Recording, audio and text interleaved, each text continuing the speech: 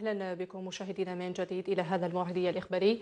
يأتيكم مباشرة عبر أول قناة إخبارية بالجزائر.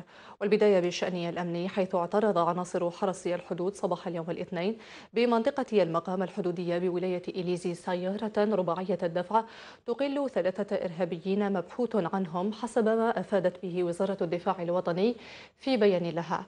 وجاء في البيان أنه في إطار مكافحة الإرهاب وعلى إثر كمين بمنطقة المقام الحدودية بولاية إليزي بالناحية العسكرية الرابعة اعترض حرس الحدود صباح اليوم سيارة رباعية الدفع تقل ثلاثة إرهابيين مبحوث عنهم. كما كشفت ودمرت مفرزة الجيش الوطني الشعبي لغما تقليدي الصنع بضواحي بلدية بني بوعتاب بولاية شلف بالناحية العسكرية الأولى. ومن جهة أخرى وفي إطار محاربة الجريمة المنظمة ضبطت مفرزة للجيش الوطني الشعبي بالوادي بالناحية العسكرية الرابعة شاحنة محملة بستة قناطير وثلاثين كيلوغراما من مادة التبغ